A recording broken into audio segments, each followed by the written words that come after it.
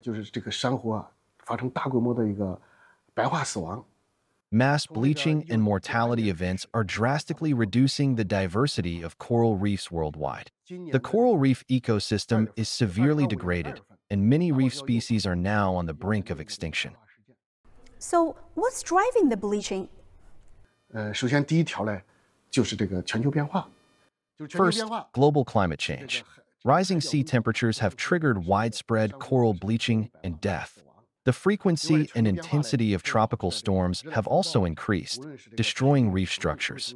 Excess carbon dioxide in the atmosphere dissolves into the ocean, leading to acidification. Second, biological threats.